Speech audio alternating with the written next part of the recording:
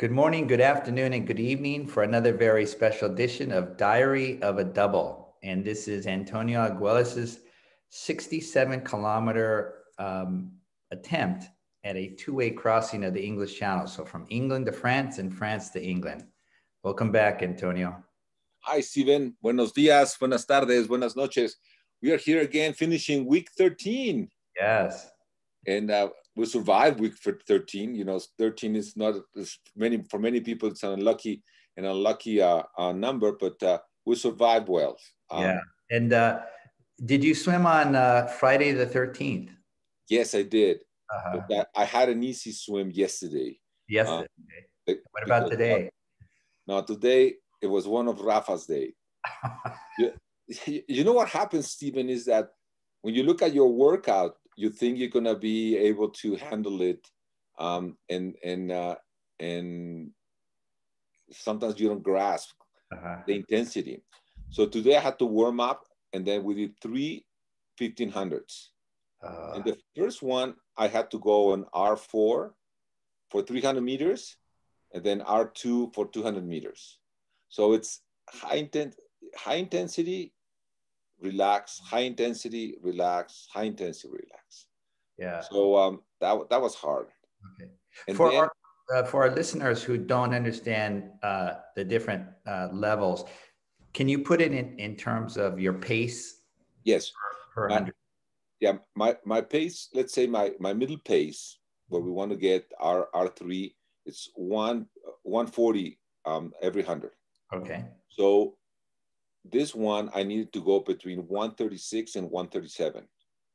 And then my recovery had to be at 148. Okay. And the tricky part is that I can't go over I can't go over 148. I mean, I have to be able to recover at 148. It's not like 155 for two minutes. Um, and then you have to start again, you know, those 300s. So, so how do you how do you pick up the pace and how do you decrease the pace? In the do you do you kick more? Do you do you move your arms faster? No i you know my my my arm stroke is pretty even. Uh-huh. i pull harder. Okay. I, I put more pressure on my on my um, on my arms. Okay. And also i, I kick more. Okay. I, and um and and the recovery i i lowered the pressure in my arms okay. the, the way i handle the water and i kick a little bit less. Got it. Got so it I did three of those. So it was the first 1500. And then I thought the second 1500 was at 140. And I said, well, 140, you know, I'm, I'm, I'm handling it. It's going to be, no, no, no, that, that was hard. I mean, and, uh, and you know, I don't know when, when you were a swimmer or when you were coaching, but Rafa is in at every hundred. He's watching. I, yeah watching and he tells me whether i i'm this i'm you know i'm not doing it well this is right and this is i'm up you know okay. i'm faster yeah. so it's uh it's it's kind of painful because he's he's telling me all the time you know how i'm going and and uh, and you know you know the, the pool has one of those old clocks that goes uh-huh. around yeah. you know the Kiefer McNeil the, the right. old yeah so he, he's he's he's in front oh so you can't see I can't see the clock. I can't see the clock. So he's in front of the clock, and he does it on purpose. So I don't know, and it, you know, I just see signals, and I have to, I have to realize how bad or how how fast or how slow I am just uh, by his uh-huh. signals. So that was that was hard. And yeah. then the last one, I thought this is gonna be downhill because I have to go a 50 in 47, 48, and come back in 54. No, no, I was dead, dead. And the thing is, since I am I'm going next week to the to the ocean, um, we didn't do we, we, we ended up doing about 5,500 meters. Okay. Um, but he said you have to do weights in the morning. So I started with my uh, weights, and then I I did this, and I'm gonna have a big nap and sleep a lot. Uh, I'm tired. I'm tired. It's it's uh, it was a tough it was a tough workout. I, I thought it was gonna be easier, but not. The, the uh. intensity the intensity kills you so yeah. Uh, yeah. Well, intensity and then just a constant thinking of pace, pace faster, pace slower. The coach is there, you know, he's giving you hand signals. That's a lot to think about. Yes, yes. But we survived week 13. Yeah. But, but two things happened uh, plus my swimming. You know, uh, last time you and I talked about ikigai. Yes. So you were you you posted a great uh, post on on uh, on WOWSA. And I watched the videos. And one thing I didn't know is that you had swam in, in Okinawa. How was that? I mean, you, you talk about sharks. I mean, did, are there many sharks there? Lots of sharks. Lots of visible sharks. We I saw sharks probably in in those swims i saw sharks um, much of the time so i mean we're talking uh, i i was always able to see a shark within um, i don't know four out of eight hours i mean a lot and uh, you know even though the sharks were very deep in the water and they were far away from me i could see them in okinawa it's like it's like hawaii it's like the Philippines, you know, the water is very, very clear. So you could see very, very deep into the water, like like Cancun, you okay. know, like the Caribbean. You can see very deep. So even though you know the shark is way down there, it's still a shark. yeah, it's in a shark. Yeah. Yeah. And but tell me one thing. What were you doing in Okinawa? Were you living there? Yeah, I was living in Japan at the time and uh, I just every year I wanted to do a new swim in Japan when I was living there. So uh, I started out in the in the north with Tsugaru, and then I just you know then I had the one in the middle of the country around Mount Fuji, and then down in Okinawa. So I wanted to go from you know colder to to middle range to very warm water. How warm is there? Well, I, I actually did them. I, you can't really swim in the summer it's it's much too hot.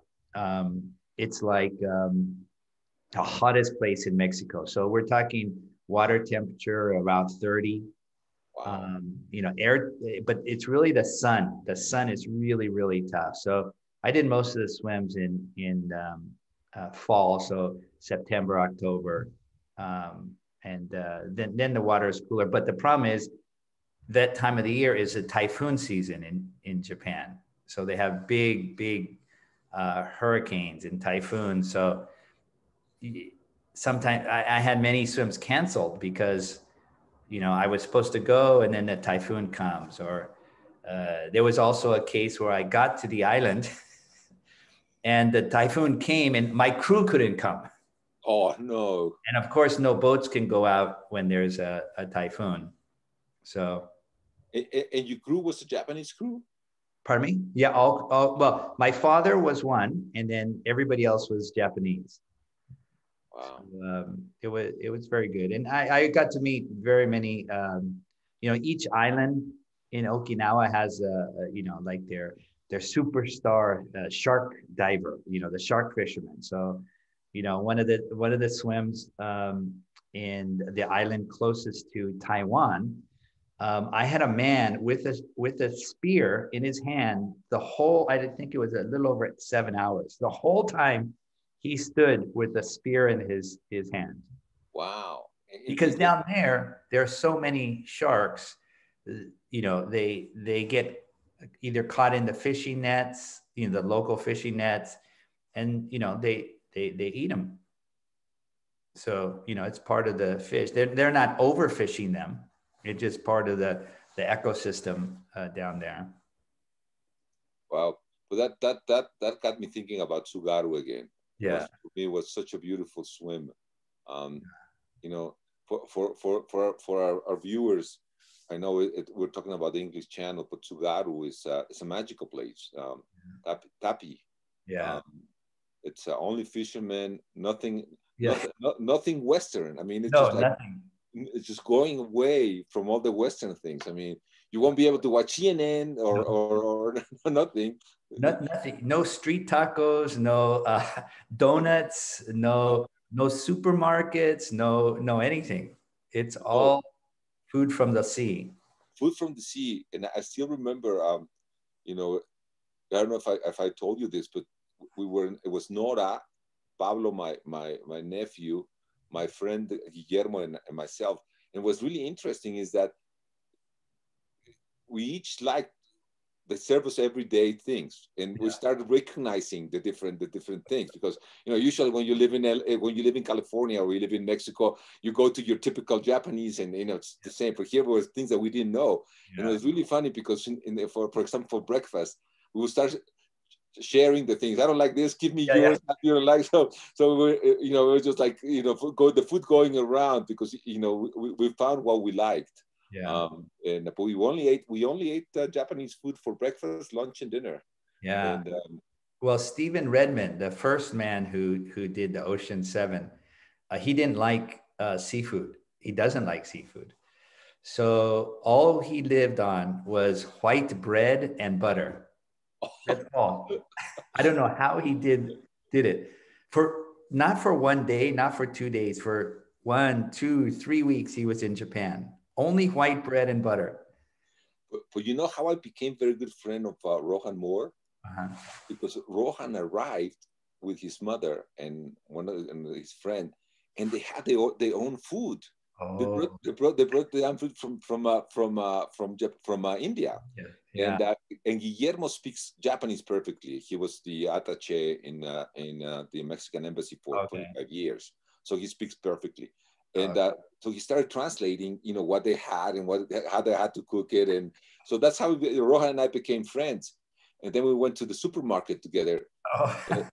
Remember, there's one supermarket about between the big city and yeah, yeah, yeah. where you can buy water and stuff like that. And it was really interesting going there. I couldn't understand anything of what, what they had there, but, but it was fun. It was fun.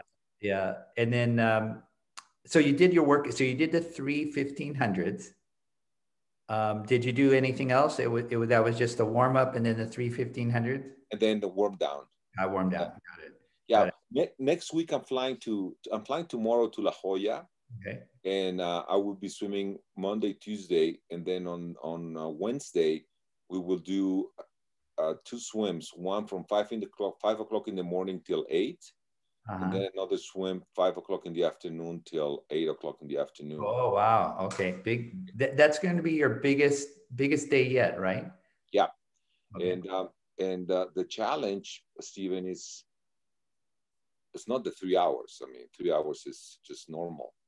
The the cold the water is about 16.5, 16.8. I checked the the buoy, yeah. and that's going to be a challenge. You know, Yeah. it's going to be my first cold swim since February. Yeah. So um, um, I will I will see how that goes. Fortunately, I have Dan Simonelli. Dan is going to be with me Okay. kayaking, and uh, and then on Thursday morning I'm going to do another swim there, just maybe an hour, hour and 15 minutes, and then I'm going to LA, and uh, being in LA Thursday, Friday, Saturday, and flying back on on on Sunday. Okay. Uh, do you plan to uh, work out in, in Los Angeles area? Um, well, I'm, I'm staying at a place, you know, it's really interesting about pools. Yeah. I have this, I'm staying at this hotel that has, I asked them, I always ask if they have a pool. Yeah. And they said, yes, they have a 23 point something uh, feet, feet. And so I said, you know, well, how is that? So I converted into, into yards and it's 26 yards. Oh, So- really? Swimming on a, if I swim there, I can be swimming on a 26 yard pool. Okay. So Um, almost 25 meters. Almost. almost 25 meters yes uh, but 20 that's a, that's an odd number 26 26 Yeah. yards Yeah. um i um I'll, I'll let you know you know i'll see where, where i am geographically and uh, Okay. if, if we can go to to your your your pond Yeah, because uh, there is a beach called Manhattan Beach in Okay. in Los Angeles, uh, near the air near LAX airport, and that's very famous. It's very convenient beach because they have two piers, okay and it's it's almost two miles from pier to pier, and many many famous um, English Channel swimmers trained there. Um, Penny Huh? Dean, who set the English Channel record in seven hours and 40 minutes. Um, Wow. John York, who did many, many Catalina swims in English Channel. Um, Cindy Cleveland, many famous people have trained in between there. Um, and it's very convenient um, and uh, nice, wide, white sand beach. So, um, you know, if you can get down there, I can go, uh, I can all help help you. perfect i have i have to i have to to overcome Yeah. um, a, a, a previous conversation with lucia to see if uh, she's gonna let me go uh, you know there i have to find out how far it's from the hotel but i'll let you know and maybe we can tell next saturday we could tell people that we went swimming together in manhattan But the other thing that happened, Stephen, is something happened in my in my in my um, in my sleep, and something has been happening in my life. Remember, we found half of the the map. The map, yes. We didn't have the rest of the map. No, we didn't have the rest of the map. So I can't remember if it was Sunday or Monday. I had a dream, and this how it looked. You know, we were in the boat, and uh, we had this crazy waves, which are always complicated, and it was just like you know. The notice was that you know we're we're passing some of the gates that we will have to pass before we arrive in the back and forth swim. Antonio, if you couldn't, you haven't shared your screen yet. You have to share uh, the. Sorry. Um, let's see. There we go. There we go. There we go. So this is the map that we had. Then this is how my dream looked. just just imagine. And then my friend Don Julian came to the pool. Got it. So we, we were talking about it that we we need to look for the other half. So we have we had something to do. Ah. So that I think that happened Wednesday or Thursday, Tuesday or Wednesday. Excuse and, me, Antonio. I have to interrupt here. I'm looking at your left tricep. That's a very good tricep. Thank you, swimmer's tricep. Yeah, yeah, and uh, and, and can you look at you know closer to my to my to my shoulder? Yeah, yeah, it's a kaatsu mark. exactly, it's a kaatsu mark. Yeah. You know what happens is this is this is I go to uh, to uh, Cuernavaca, uh-huh. so I, on the road I put my kaatsu my kaatsu on the road. Yeah. And uh, I, I I have kaatsu session. Yeah. I, I, I take three sessions. Yeah, is good. That... Yeah, very good. Very yeah. good. So, so, sorry, I, I couldn't help but notice your tricep. So yeah, thank you. You know, the weights are are working. The work the, the weights are working. Yeah. So Don Julian, who's my, my friend who was a pirate, now is my parrot. We're looking for something is gonna happen. And then on yesterday, look what happened. Something appeared at the pool, and there it is, my old friend. He tells me, Do you know, remember me? ¿Te acuerdas de mí? Do you remember me? And here is our, our companion for the rest of the trip. Great. His name is the pirate Antonio, the pirate Antonio. Okay. So that's how I look when I was a little kid, Stephen. Got it. Yeah. So he's going to be with us. And look what he brought us the rest of the map. Great. So Great. we are ready. We have our parrot, Don Julian, who's a very famous pirate. Yes. My old, my, my myself when I was a, a small pirate. So that's that's comforting. I I was very good at, uh, in the ocean, so that I I feel confident that we'll be able to yeah. achieve the double crossing. Yeah. And uh, and they're gonna go with me to La Jolla, and okay. uh, we'll be we'll be sharing news uh, from now on. They're gonna be with us, and and they're gonna help us uh, overcome the gates of the North Channel. Yeah. English, so. English Channel. English Channel back and forth. Yeah. yeah. Oh wow! Well, welcome to uh, California next week, very very shortly, and uh, hope to see you here. Okay, Steven. Have Thank a great you. weekend. Adios.